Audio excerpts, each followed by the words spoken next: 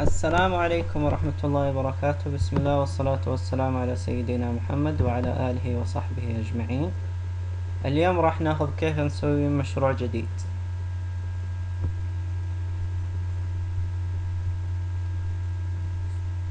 طيب نستنى لين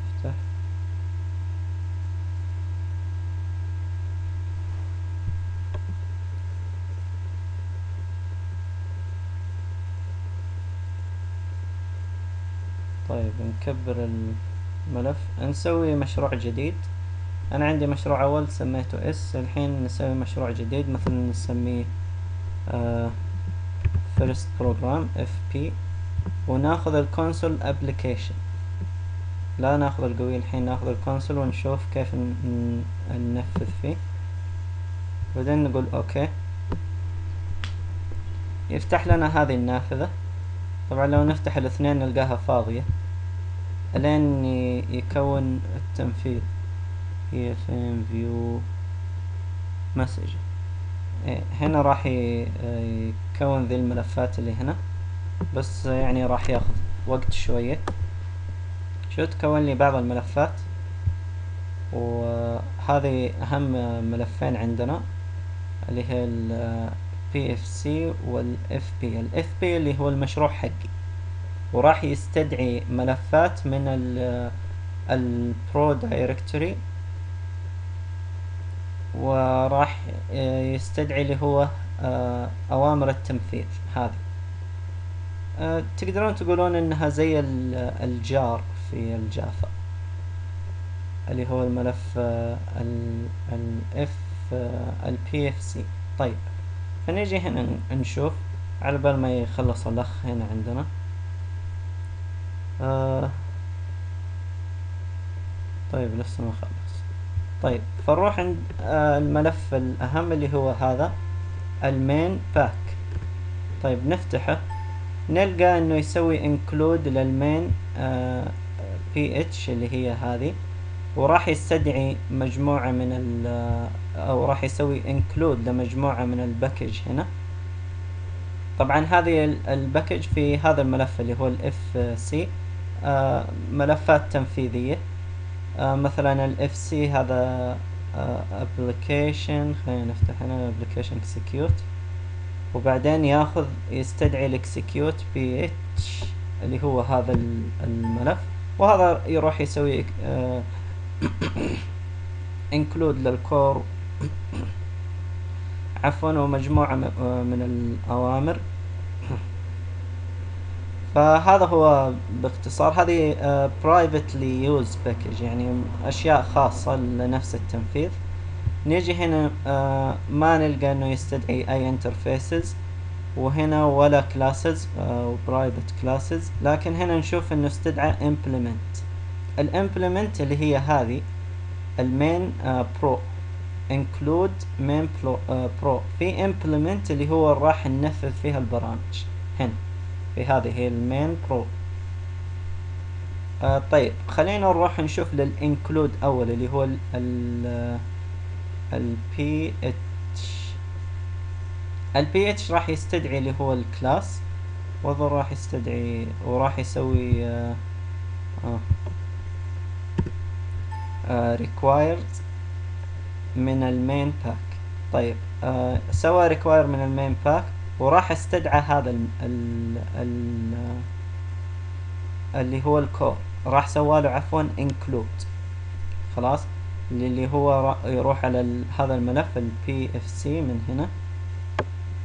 وبعدين يروح يستدعي لي اللي هو ال core ph طبعا ال core هذا هو اللي تقريبا كل البرنامج اللي ينفذ لك البرنامج بشكل كامل. إذا حابين تقرونها يعني في اللي هو ال pro, ال pro class هنا وهنا ال Prolog ال pro Prolog. آه راح يسوي لل get some وال boolean value وراح يعني يسوي الأوامر التنفيذية الأساسية. مثلا integer ستة وأربعين value أربعة وستين عفوا value وال real وال binary والبروج إيش يسمونه؟ ال object يعني فيها أوامر كثيرة تنفيذية آه هذا هو اللي هو ال core ph نطلع هنا. وبعدين راح يسوي include لل main cl طبعا هذه أهم اثنين في اللي هو ال main ph ال main cl اللي هو ال class حق ال main مسوي له هنا class. وهنا نهاية ال class هنا أسفل. طيب هذا ال class إيش يسوي؟ يقول لي open ال core راح يستدعي سوينا له include وراح ينفذ مجموعة من الأوامر. وهنا عندي ال predicates آه راح يسوي لي run لل core runnable وراح نشوف إيش هذه الأشياء. آه فنرجع لل اللي هو آه ال main ph شفنا ال main class وشفنا ال core ph نرجع لل main package آه طيب آه شفنا اللي هو ال main ph وشفنا مجموعة أو مجموعة أيوه من هذه ال includes ما علينا منها أهم شيء عندنا اللي هو ال main pro اللي راح نسوي البرنامج فيه. هذا فيها implement سميناها main آه، رئيسية. وهذا آه هذا بداية ال implement وهنا النهاية. وهذا الجول اللي هو الهدف من البرنامج. راح يسوي execute لل آه راح يسوي run لل main يروح لل main اللي هو هنا. ويلقى فيها classes اسمها run أو rule اسمها run ويجي هنا يلقى ال run فينفذ هذه. هنا راح يسوي إيش؟ هنا يقول لك replace your code. هنا راح نسوي اللي هو أوامر ال. إيش يسمونه ذا؟ ال Prolog. ف اللي اللي فاهم سي بلس بلس للكلاسات راح يفهم آه، طريقة استدعاء هذه لأنها قريبة منها طريقة استدعاء ال classات مع بعض. فا ما بسوي تعديل طيب فهذا بداية ال main آه عفوا آه ال implement main يسوي open لل core وراح يسوي مجموعة classes اللي هو ما في إلا run وهنا ال main راح يسوي يروح لل main هذه ال implement وراح يسوي ويروح لل run ويسوي له تنفيذ. وهنا اللي هو أوامر ال run اللي راح نسويها. وهذه كلها كل الاثنين ذي راح يسوي لها run هنا. وبعدين يسوي له ال main execute آه يعني راح تسوي له تنفيذ. آه فهنا راح ننفذ آه الأوامر حقتنا. و باختصار تقريبا هذه هي أهم الملفات اللي راح نشوفها في ال Prolog. طيب. آه لما أسوي إنشاء أنا سويت سميته FP نروح هنا. في البداية لما نسوي new project أو أو نفتح ال Visual Prolog راح يطلبك آه إنك تسوي اللي هو هذه. آه ملف اسمه Visual Prolog project اللي هو راح يخزن اللي هو ال project حقت اللي, راح اسويها يعني زي مثلا هذا ال VP project راح ينشأها هنا جوة اللي هو ال Visual Prolog project هذا جوة ال document ومن ال libraries وال document بعدين تلقونها. يوه. طيب هذا مشروع سابق. آه نجي هنا للمشروع حقنا. enter راح نشوف هذه البرامج. راح نخش على ال execute هذا البرنامج حق التنفيذ الفعلي اللي راح ي... اللي لما أسوي run أو خلينا نرجع شوية لا نستعجل. فهذا الملف حقي اللي هو ال PL في عندي هنا ال project icon اللي هو هذه ال project icon هنا. هذه الصورة اللي قاعد اللي سوى ال icon يعني حقت البرنامج حقك. هذا شكلها.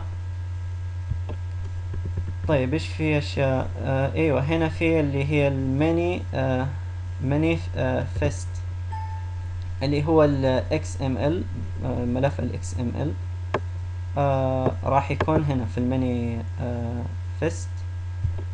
آه طبعا ما في شيء هنا مهم راح يهمنا. آه فنقفل. طيب فهنا لما نسوي له آه في ال build لما نسوي له compile عشان يشوف الأخطاء. مثلا خلينا نحط آه هنا خطأ. مثلا في ال main. هذه. مثلا خلينا نشيل هذه ال and اللي هنا هذه الفاصلة نشيلها ونحط آه dot اللي هو انتهاء. فراح يقول لي خطأ في اللي هو ال clauses هذا ما له rule yes آه no أوه. طيب نرجع نعدل مرة ثانية. آه بعد الآن نحط آه نقطة اللي هو الانتهاء بعد الفاصلة بعد الآن عشان يطلع لنا بس خطأ نقول له yes نسوي save. طيب X X طيب هنا نسوي build compile. طيب لما نسوي compile راح يطلبك انك تنزل تشتري النسخة. طبعا ما ما ما راح نشتري النسخة. وهنا راح يسوي لك إيش؟ ال compile لو نلاحظ هنا قاعد يسوي compiling طيب طلع لي error في خطأ. آه طيب نضغط عليه double click على ال syntax error آه عفوا.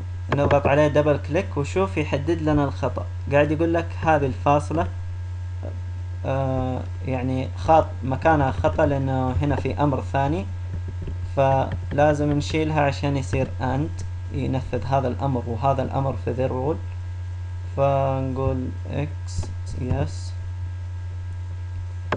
ونرجع نسوي build مرة ثانية عفوا compile عشان يشوف إذا في أخطاء ولا لا. cancel ما, ما عندنا شيء.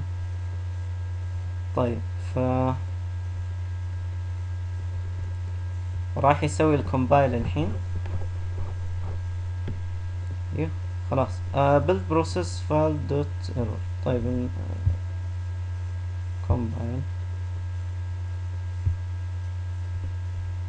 طيب نروح نسوي run. ما في أي أخطاء. فهنا راح يسوي compile لل main ما. فقاعد project يقول has been build خلاص انتهى بناء البرنامج. وطلع لي النافذة التنفيذية. طبعا ما سويت أي حاجة. فراح يقول إن شاء الله ما يعلق. إيوه يقول ال main goal ما في اي ما في أي تنفيذ في ال main goal في اللي هو ال main pro فباختصار آه في هذا الدرس أبغى أبغاكم تتعرفون على ال يعلق طيب أبغاكم بس تتعرفون على اللي هو ال project وأهم الملفات اللي فيها. أتمنى أنكم استفدتم من هذا الدرس والسلام عليكم ورحمة الله وبركاته.